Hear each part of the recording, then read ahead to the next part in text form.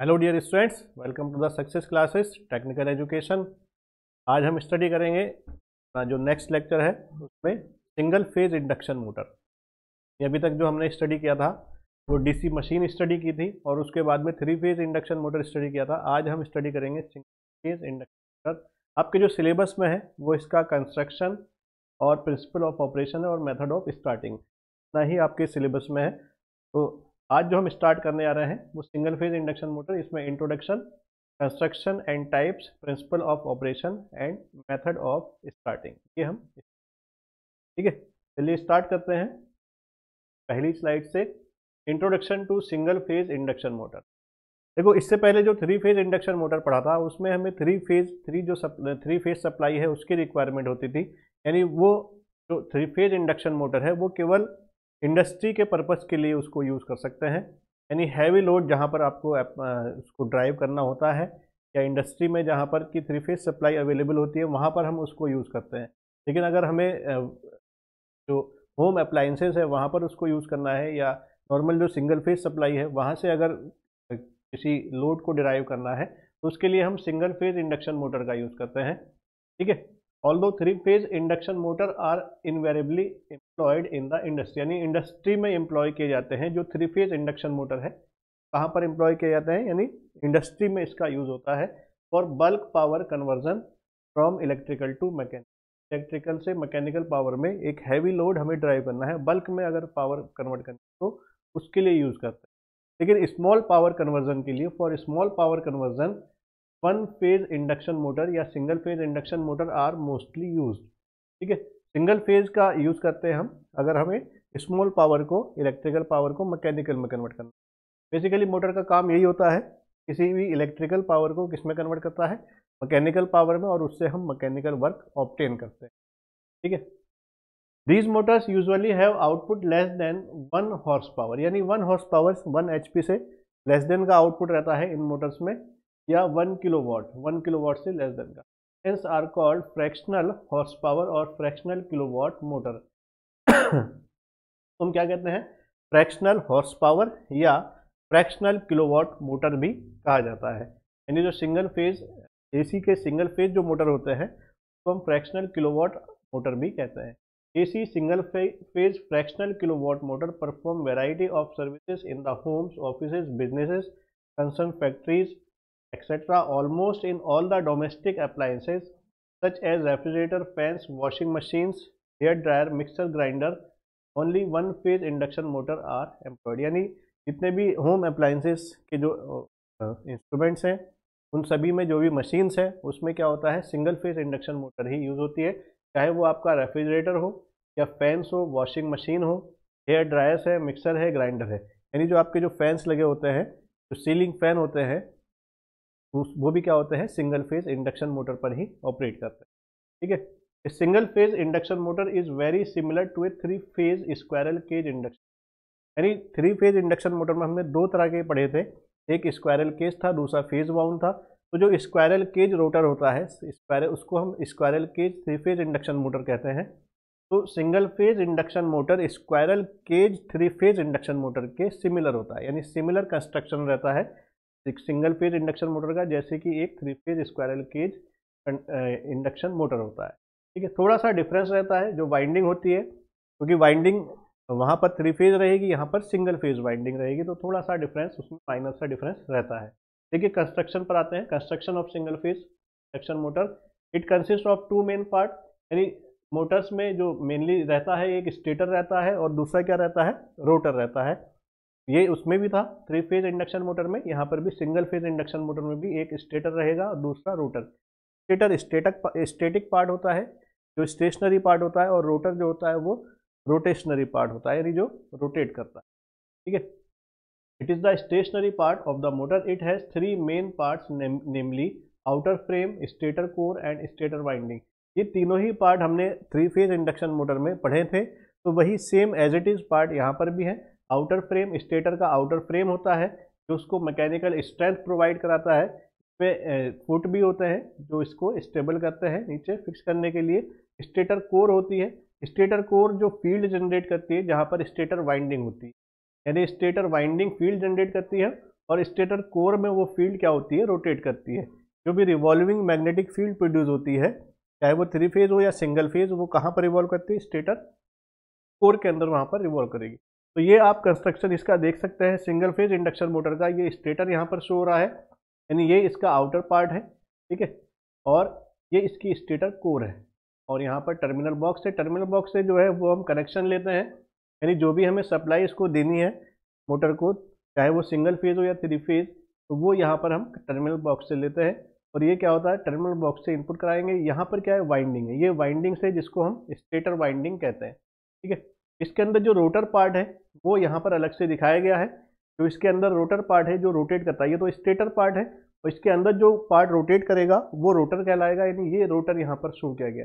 इसमें एक ही तरह का रोटर यूज़ होता है, जिसको हम स्क्वायरल केज रोटर कहते हैं। तो सिंगल फ़ेज़ इंडक्शन मोटर में केवल एक ही टाइप का रोटर यूज़ होता है। थ्री फ़ेज़ में दो टाइप के रोटर यूज़ होते हैं, लेकिन सिंगल फ़ेज़ में क्या होता है? एक ही टाइप का रोटर यूज़ होता है। ठीक है?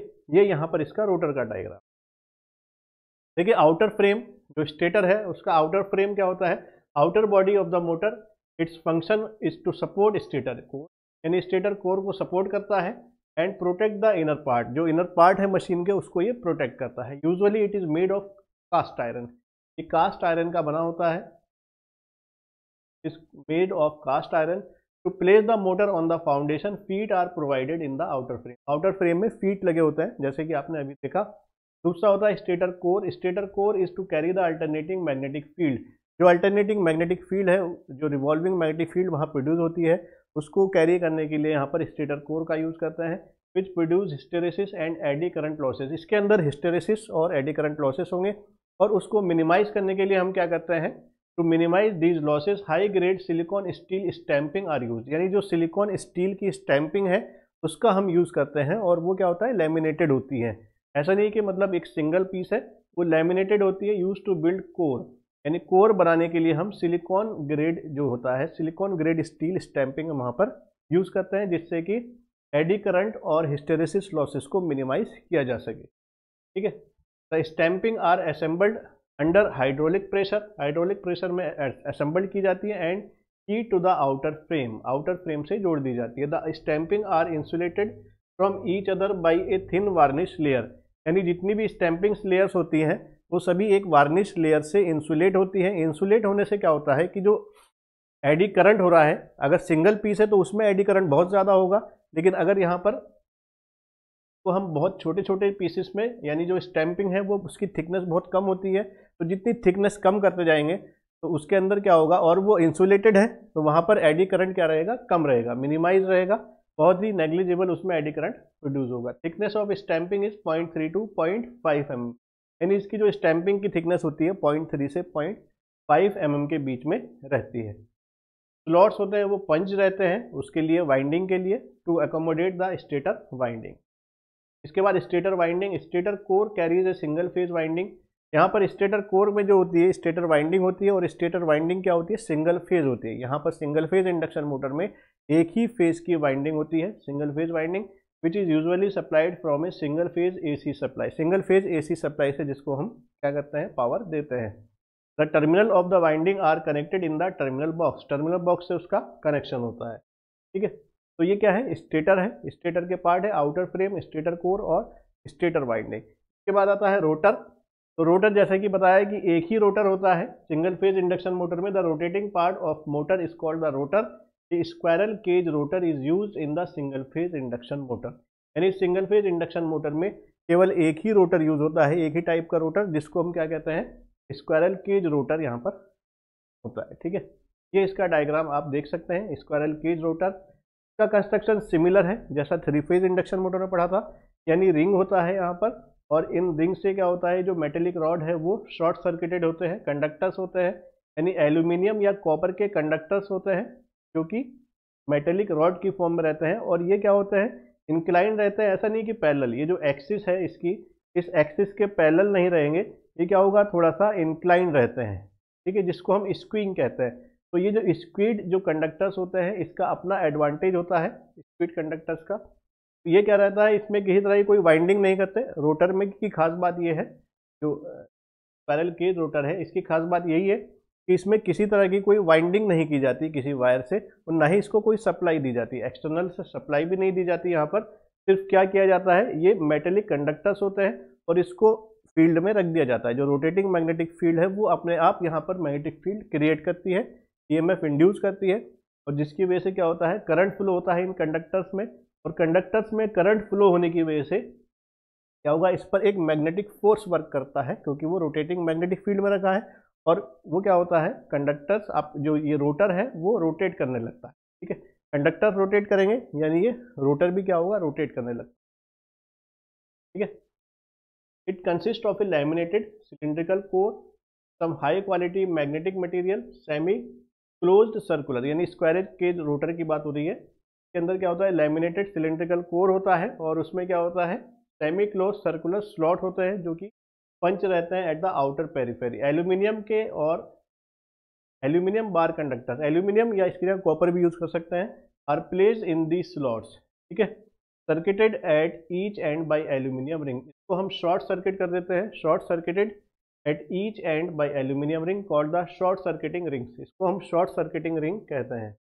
Thus the rotor winding is permanently short circuited यानी जो रोटर वाइंडिंग है, वो परमानेंटली शॉर्ट सर्किटेड होती है। और शॉर्ट सर्किट होने से क्या होता है? उसके अंदर एडी करंट फ्लो जो इंड्यूस करंट है, वो फ्लो होने लगेगा। एडी करंट नहीं इंड्यूस करंट वहाँ पर फ्लो होने लगेगा। The rotor slots are usually not shaft but are skewed यानी पैरेलल नहीं होते स्क्यू रहते हैं। अब देखिए स्क्यू के क्या इसके एडवांटेज है। It reduce the humming and it it result in smoother torque and curve for different different position of the rotor यानी जो टॉर्क रहता है, वो काफ़ी स्मूथ मिलता है यहाँ पर। It reduce the magnetic locking magnetic locking को रिड्यूस कर देता है increase the rotor resistance rotor resistance को इंक्रीज कर देता है, क्योंकि इंक्लाइन होने की वजह से रजिस्टेंस बढ़ जाती है। लेंथ बढ़ जाती है तो रजिस्टेंस भी बढ़ जाएगी। ठीक है? नेक्स्ट है classification of single phase induction motor classification मतलब कितने टाइप्स के होंगे? बेसिकली वैसे तो सिंगल ही एक ही तरह का होता है, सिंगल फ़ेज़ इंडक्शन मोटर, लेकिन उसमें जो स्टार्टिंग मेथड है, उसके बेसिस पर हम उसको क्लासीफाई कर सकते हैं। उसके बेस पर हम इसको थ्री टाइप से क्लासीफाई कर सकते हैं। एक तो split phase type capacitor type और शेडेड पोल टाइप यानी split phase capacitor shaded pole type ये तीनों जो टाइप्स हैं, ये इसके स्टार्टिंग मेथड्स पर डिपेंड कर रहे हैं, यानी किस तरह से इसको स्टार्ट किया जाता है। स्टार्टिंग मेथड्स आगे पढ़ेंगे हम। क्योंकि जो सिंगल फ़ेज़ इंडक्शन मोटर है, वो सेल्फ स्टार्टिंग नहीं होता। जैसे कि थ्री फ़ेज़ इंडक्शन मोटर होता है, वो तो अपने आप स्टार्ट हो जाता है। जैसे ही उसको सप्लाई दी, वैसे ही क्या होगा? अपने आप स्टार्ट हो जाएगा। लेकिन सिंगल फ़ेज़ इंडक्शन मोटर के को आप डायरेक्टली सप्लाई देते ही उसको स्टार्ट नहीं कर सकते। उसके लिए एक्सटर्नल एक अलग से सर्किट लगाया जाता है, जो स्टार्टिंग मेथड में कवर करते हैं। ठीक है? Principle of operation The field produced in a single phase induction motor can be explained by the double revolving field theory which is given below. यहाँ पर क्या होता है जो इसका जो प्रिंसिपल ऑफ़ ऑपरेशन है डबल रिवॉल्विंग फ़ील्ड थ्योरी से हम इसको एक्सप्लेन कर सकते हैं अब देखिए फ़ील्ड थ्योरी है क्या double revolving field theory this theory is based on the Faraday's principle that pulsating field produced in single phase motor can be resolved into two components यानी कोई भी जो सिंगल फ़ेज़ मोटर से जो field produce हुई है, उसको हम दो कंपोनेंट में रिजोल्व कर सकते हैं। Half the magnitude and rotating in opposite direction at the same synchronous speed. यानी दो उसके कंपोनेंट रहेंगे, का जो मैग्नीट्यूड रहेगा वो हाफ़ रहेगा और अपोजिट डायरेक्शन में क्या कर रहा है, वो सिंक्रोनस स्पीड से रोटेट करेगा। इसका मतलब क्या होगा कि जो अल्टरनेटिंग फ्लक्स है, जो सिंगल फ़ेज़ अल्टरनेटिंग फ्लक्स है, उसको हमने दो कंपोनेंट में ब्रेक कर दिया और वो अक्रॉस द एयर गैप वहाँ पर फ्लो होता है through the single phase induction motor, जो एयर गैप होता है, वहाँ पर वो फ्लो होने लगता है। Still consist of combination of the two field same strength यानी कॉम्बिनेशन रहता है वहाँ पर दो फ़ील्ड का और सेम स्ट्रेंथ का which are revolving with the same speed जो कि रिवॉल्व करते हैं in clockwise direction and the other anticlockwise direction यानी एक जो कंपोनेंट है, वो तो क्लॉकवाइज डायरेक्शन में रोटेट करता है और दूसरा जो कंपोनेंट है, वो एंटी क्लॉकवाइज डायरेक्शन में रोटेट करता है। The strength of each one of these field will be equal to one half of the maximum field यानी जो मैक्सिमम फ़ील्ड है, उसकी आधी स्ट्रेंथ होती है हर एक फ़ील्ड की। देखिए किस तरह से ये काम करती है डबल रिवॉल्विंग फ़ील्ड थ्योरी यानी यहाँ पर अगर आपका ये मैग्नेटिक फ़ील्ड है तो इसके दो कंपोनेंट में हमने ब्रेक किया, एक इस तरफ़ एम बाई टू और दूसरा ये एम बाई टू एम यहाँ पर इसका मैग्नेटिक मूवमेंट है तो इसको एम बाई टू और एम बाई टू में ब्रेक किया। यानी फाइव एम इसको यहाँ पर मल्टीप्लाई करेंगे। एक्स इस थीटा की तरफ़ जो कंपोनेंट आएगा वो कितना आएगा? कॉस थीटा से यहाँ पर मल्टीप्लाई कर देंगे। Five M by two cos theta. और इधर भी क्या हो जाएगा? Five M by two cos theta इधर आ जाएगा। तो यहाँ पर आप देख सकते हैं कि जो ये वाला जो कंपोनेंट है, इसको हमने दो कंपोनेंट में, ये मैग्नेटिक फ्लक्स है फाइव एम इसको हमने दो कंपोनेंट ब्रेक किया है। यानी इसका एक कंपोनेंट इस तरफ़ एंटी क्लॉकवाइज डायरेक्शन में और दूसरा कंपोनेंट किस तरफ़ आएगा? क्लॉकवाइज डायरेक्शन में रोटेट करेगा। यानी इसका ये, इसका आप वेव डायग्राम देख सकते हैं। यहाँ से स्टार्ट होगा ये।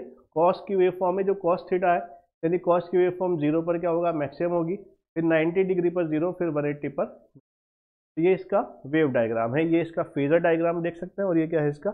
वेव डायग्राम ठीक है? अब देखिए डबल रिवॉल्विंग फ़ील्ड थ्योरी में क्या होता है कि जब स्टेटर फ़ील्ड हम अप्लाई करते हैं तो यहाँ पर एक सिंगल यहाँ पे इस तरह से एक मैग्नेटिक फ़ील्ड जनरेट हो जाती है।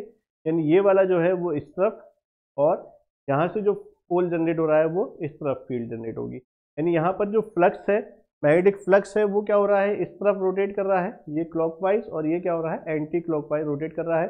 एक पोल यहाँ पर बन गया, एक ए और ए डैश वाला पोल यहाँ पर बन गया। यानी वर्टिकली डाउनवर्ड यहाँ पर आप मैग्नेटिक फ़ील्ड देख सकते हैं। ठीक है? अब क्या होता है, यहाँ पर जब ये कब था, ये थीटा की वैल्यू 180 डिग्री अगर हम थीटा की वैल्यू यहाँ पर वन टू ट्वेंटी फाइव पर देखें at the instant of theta to twenty five तो ये क्या हो जाएगा? इतना रोटेट हो जाएगा थोड़ा। यानी ये इस तरफ़, इस इंस्टेंट पर हो जाएगी। यानी अभी जो मैग्नेटिक फ़ील्ड थी वो इस वर्टिकली थी। ये थोड़ा सा इंक्लाइन हो जाएगी थीटा एंगल पर। ठीक है? स्टेटर फ़ील्ड की पोजिशन यहाँ पर ये शो कर रहा है। ठीक है? At instant T minus T four T minus T five और यहाँ पर आप देख सकते हैं, जब थीटा टू सेवेंटी होगा, यानी एट इंस्टेंट टी सिक्स यहाँ पर हो जाएगा टी फोर टी फाइव और ये टी सिक्स तो इस पर ये बिल्कुल हॉरिजेंटल हो जाएगी यहाँ पर मैग्नेटिक फ़ील्ड तो आप यहाँ देख सकते हैं कि जो मैग्नेटिक फ़ील्ड है, वो क्या हो रहा है? क्लॉकवाइज डायरेक्शन में जो रिजल्टेंट मैग्नेटिक फ़ील्ड है क्लॉकवाइज डायरेक्शन में इस तरह से रोटेट हो रही है। तो ये क्या कर रहा है? यहाँ पर एक रोटेटिंग मैग्नेटिक फ़ील्ड यानी डबल रिवॉल्विंग फ़ील्ड यहाँ पर जनरेट हो रही है। ठीक है? डबल रिवॉल्विंग फ़ील्ड जब ये जनरेट होगी तो क्या होगा यहाँ पर?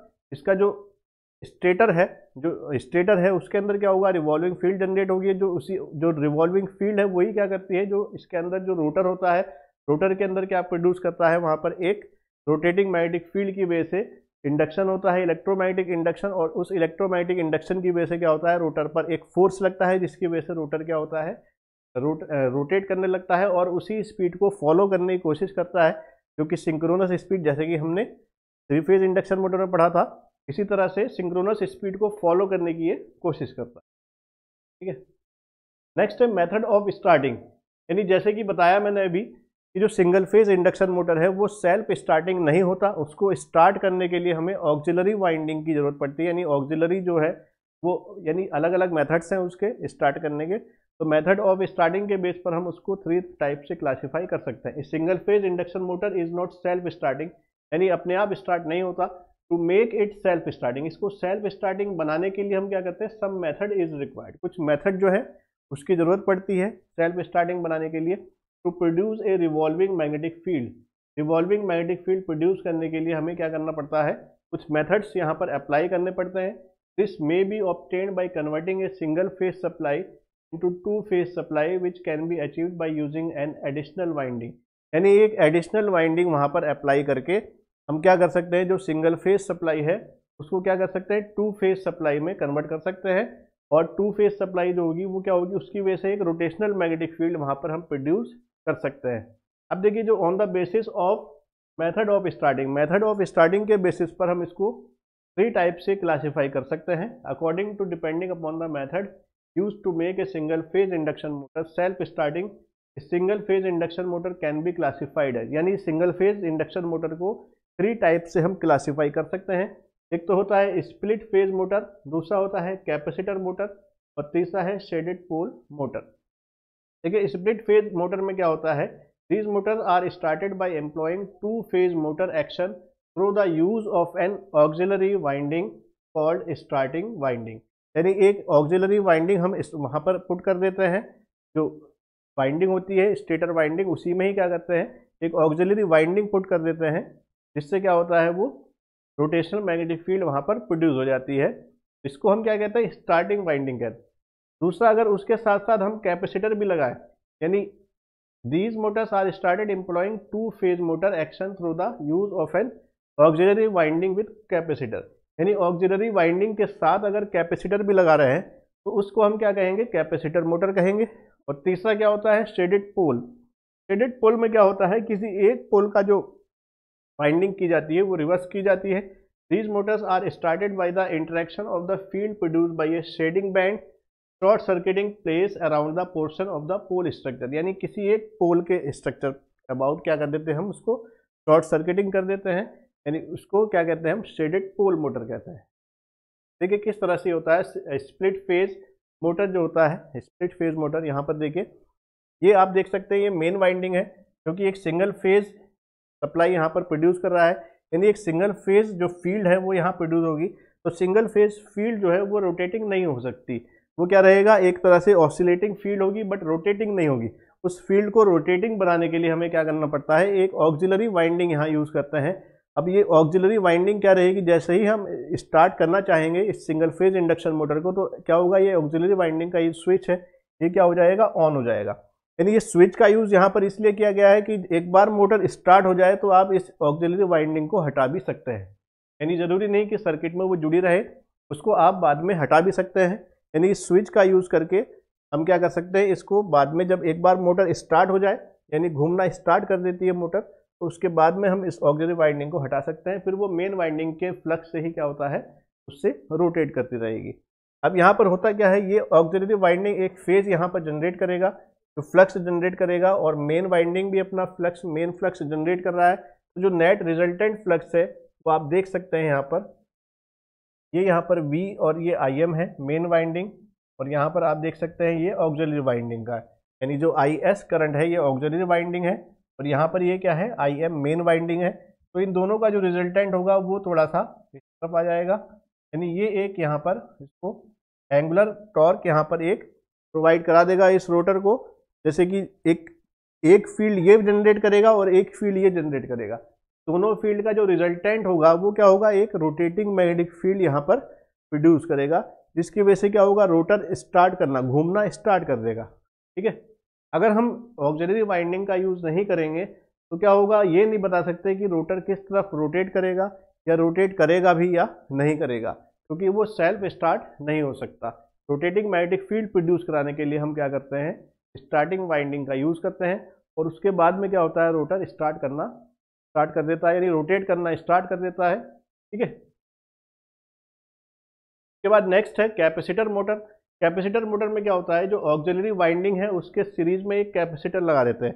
और आपको पता है, सीरीज़ में अगर कैपेसिटर लगा हुआ है या किसी भी वाइंडिंग में कैपेसिटर लगा हुआ है तो उसका जो वोल्टेज है और जो करंट है, वो 90 डिग्री क्या रहेगा, उसमें फ़ेज़ डिफरेंस रहेगा, वोल्टेज में और करंट में दोनों में 90 डिग्री का फ़ेज़ डिफरेंस रहेगा। तो आप यहाँ पर, हम यहाँ पर कैपेसिटर ऐड करने से क्या कर रहे हैं कि जो मेन वाइंडिंग है और जो ये ऑक्सिलरी वाइंडिंग है, इन दोनों में, दोनों का जो फ़ेज़ है, दोनों का करंट है, उसके बीच में कम से कम 90 डिग्री का फ़ेज़ डिफरेंस यहाँ पर रहेगा। तो आप देख सकते हैं यहाँ पर ये आई एस तो इसकी, ये वाली ऑक्सिलरी वाइंडिंग है और ये यहाँ पर इसकी मेन वाइंडिंग है मेन करंट है।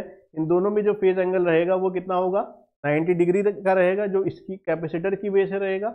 और ये कैपेसिटर जब 90 डिग्री का फ़ेज़ एंगल क्रिएट करेगा तो जो रिजल्टेंट फ़ेज़ होगा, वो थोड़ा सा क्या हो जाएगा 90 से कम रहेगा इसमें। ठीक है, रिजल्टेंट फ़ेज़ यहाँ पर आप देख सकते हैं। तो ये जितना ज़्यादा फ़ेज़ डिफरेंस रहेगा, उतना ही क्या होगा स्टार्टिंग टॉर्क यानी रिवॉल्विंग मैग्नेटिक फ़ील्ड उतना ही इजीली प्रोड्यूस होगी और उतना ही क्या होगा, इसको स्टार्टिंग टॉर्क यहाँ पर ज़्यादा मिलेगा। तो आप देख सकते हैं यहाँ पर ये मोटर क्या होगा इससे स्टार्ट कर सकते हैं। यानी जो कैपेसिटर है, कैपेसिटर लगा होता है, आपने देखा होगा जो सिंगल फ़ेज़ इंडक्शन मोटर जैसे जी फ़ेज़ जो आपका फैंस होते हैं इलेक्ट्रिक फैंस सीलिंग फैंस वहाँ पर भी कैपेसिटर का काम क्या होता है? स्टार्टिंग के लिए होता है। अगर कैपेसिटर नहीं लगाएँगे तो क्या होगा? ये स्टार्ट नहीं होगा। फिर आपको हाथ से उसको एक बार स्टार्ट कराना होगा, फिर क्या होगा? उसको डायरेक्शन मिलेगी, फिर वो रोटेट करता है। फ़ैन उसके बाद है shaded pole motor shaded pole motor is constructed with salient pole in the stator यानी इसमें क्या होता है? जो स्टेटर की जो वाइंडिंग है फ़ील्ड वाइंडिंग उसी में ही थोड़ा सा हम क्या कर देते हैं? चेंज कर देते हैं। यानी each pole has own exciting winding यानी हर एक पोल अपनी एक एक्साइटिंग वाइंडिंग होती है और उसका one third portion of each pole is surrounded by the copper strip form by a close loop called the shaded band यानी यहाँ पर क्या होता है, इसका जो वन थर्ड पोर्शन है, वो सराउंडेड होता है by the copper strip copper strip से इसको सराउंड कर देते हैं, जिसको हम क्या कहते हैं शेडिंग बैंड कहते हैं। इस सराउंडेड पोर्शन को, हर एक पोल का, उसको हम क्या कहते हैं शेडिंग बैंड कहते हैं। Rotor is usually squirrel cage इसके अंदर जो रोटर होता है, वो कैसा होता है स्क्वायरल केज होता है। तो जो शेडिंग बैंड है, वो क्या है, यहाँ पर इसको स्टार्टिंग टॉर्क यहाँ पर प्रोवाइड करता है। ठीक है? तो ये हमारा शेडेड पोल है। यहाँ पर आप देख सकते हैं, जो फ़ील्ड प्रोड्यूस होगी by the main winding main winding से जो फ़ील्ड प्रोड्यूस हो रही है, जो सेडेड पोल है, उसकी वजह से क्या होगा? ये रोटर को जो टॉर्क मिलेगा वो आप यहाँ पर देख सकते हैं। ठीक है? मैंने single phase supply is given to the stator winding it produce alternating flux when the flux is increase in the pole portion of the flux attempt to pass through the shaded pole of the portion of the pole this flux induces an E M F and hence current in the shading band और copper ring यानी जो shading band है उसके अंदर EMF induce हो जाता है। Lenz law के according as per the Lenz law the direction of this current is oppose the cause which produce it यानी जिस कॉज से वो प्रोड्यूस हो रहा है, जो इंड्यूस करंट है, उसी का क्या करता है ये? अपोज करता है। ठीक है? Hence in the beginning the greater portion of the flux pass through the unshaded side यानी जो ज़्यादा फ्लक्स है, वो अनशेडेड साइड से पास होगा। यहाँ पर आप देख सकते हैं, ये वाला जो अनशेडेड साइड है यहाँ से ज़्यादा फ्लक्स पास होगा और जो शेडेड साइड है वहाँ से कम फ्लक्स पास होगा। ठीक है? When the flux reach its maximum value its rate of the change is zero जब मैक्सिमम वैल्यू पर होगा तो इसका रेट ऑफ़ चेंज ज़ीरो रहेगा thereby the E M F and hence current in the shading coil become zero जो कर ई M F होगा shading coil में, वो क्या हो जाएगा? ज़ीरो हो जाएगा। Flux is uniformly distributed over the pole face and resultant field lie at the centre of the pole जो रिजल्टेंट फ़ील्ड होगी, वो कहाँ पर होगी? उसके पोल के सेंटर पर रहेगी, ठीक है? After this the main flux tend to decrease अब क्या होगा? मेन फ्लक्स डिक्रीज करना स्टार्ट कर देता है। The E M F and has the current induce in the shading coil now tend to increase अब क्या होगा? ई एम एफ़ इंक्रीज करता है, जो इंड्यूस करंट है, वो इंक्रीज करने स्टार्ट कर देती है। The flux on the shaded portion of the pole and resultant lie on the shaded portion of the pole यानी एक बार क्या होगा? जो शेडेड पोर्शन है, उसका फ्लक्स इंक्रीज होगा। और एक बार क्या एक बार क्या होगा, जो अनशेडेड पोर्शन है, उसका फ्लक्स क्या होगा इंक्रीज होगा। Hence a revolving field is set up यानी अब क्या होगा, यहाँ पर एक रिवॉल्विंग फ़ील्ड सेटअप हो जाती है, जो रोटेट करती है from the unshaded portion to the pole of the shaded portion of the pole यानी जो एक रिवॉल्विंग फ़ील्ड की जो डायरेक्शन रहेगी, वो अनशेडेड पोर्शन से किस तरफ़ रिवॉल्व होगी, वो shaded pole of the shaded portion of the pole एक रिवॉल्विंग फ़ील्ड यहाँ पर सेटअप हो जाएगी। ठीक है? By electromagnetic induction starting torque develop in the rotor यानी अब इलेक्ट्रोमैग्नेटिक इंडक्शन से रोटर में स्टार्टिंग टॉर्क डेवलप हो सकता है। मेनली जो होता है, वो रिवॉल्विंग फ़ील्ड प्रोड्यूस कराना होता है। तीनों में से किसी भी मेथड से रिवॉल्विंग फ़ील्ड वहाँ पर प्रोड्यूस कराना ही मेन एम है। एक बार रिवॉल्विंग फ़ील्ड अगर प्रोड्यूस हो जाती है तो क्या होता है, जो रोटर होता है, उसके अंदर इलेक्ट्रोमैग्नेटिक इंडक्शन से वहाँ पर टॉर्क प्रोड्यूस हो जाता है। ठीक है? स्टार्टिंग टॉर्क वहाँ प्रोड्यूस हो जाता है। इसके बाद है applications of single phase induction motor तो single phase induction motor basically क्या होता है, जो स्मॉल लोड है, उसके लिए यूज़ होता है। यानी सिंगल फ़ेज़ इंडक्शन मोटर को हम ज़्यादातर हाउस होल्ड एप्लीकेशंस में ही उसको यूज़ करते हैं। Motor perform variety of services in the homes homes में इसका ज़्यादा यूज़ है। Office business concern factories factories में बेसिकली जो हैवी लोड जहाँ पर होता है, वहाँ पर वहाँ पर तो three phase induction motor use होता है, लेकिन जहाँ पर लाइट लोड की रिक्वायरमेंट होती है, वहाँ पर हम क्या करते हैं सिंगल फ़ेज़ इंडक्शन मोटर को ही यूज़ करते हैं। Almost in all domestic appliances यानी जितने भी डोमेस्टिक अप्लाइंसेज हैं, जैसे कि रेफ्रिजरेटर हुआ फैंस में washing machines hair dryers mixer grinder इन सभी में इसका यूज़ होता है। Single phase induction motors are ठीक है? तो ये था हमारा सिंगल फ़ेज़ इंडक्शन मोटर इसके कंस्ट्रक्शन इसका application principle of application working और इसका application of single phase induction ठीक है? चलिए आज के लिए इतना ही काफ़ी है। मिलते हैं अपनी नेक्स्ट वीडियो में। ठीक है? Okay thank you